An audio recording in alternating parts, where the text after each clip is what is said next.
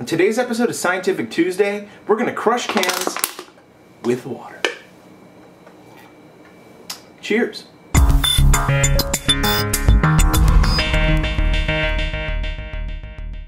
Now before you start, let's make sure you've got everything you need. You're gonna need a soda can, a large bowl of cold water, and a stove top.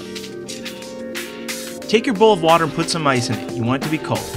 Now pour just a little bit of water into the can. Now we're gonna set the can on the stove top and put the stove on high. After a while, the water inside the can will boil and you should see steam coming out of it. Now grab some tongs, get the can from the bottom, and flip it upside down into the cold water. It's going to instantly collapse in on itself. I'll explain why later.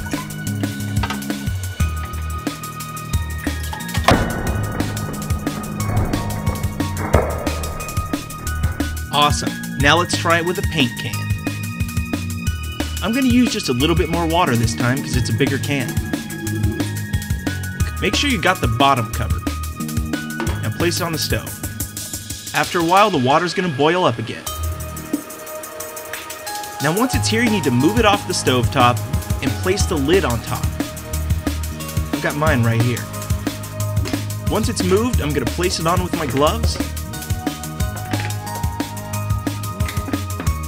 and then dip it into the cold water. Now this to take a little longer because it's a larger can and it's stronger. But you'll see it happening almost immediately. Now what's happening here is that when the water boils, it pushes all of the air out of the can. And if you quickly cool it, it causes all the water vapor to condense, which makes a vacuum inside the can. That means the air pressure outside of the can is stronger than inside, so the can collapses on itself.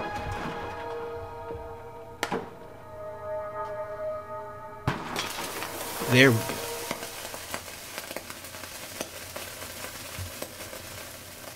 Awesome. Thanks for watching, and if you enjoyed this episode, check out another one here, or another one here. Also, if you're still bored, you can subscribe and follow me on Facebook. The link is in the sidebar thing. Yeah. See you next week.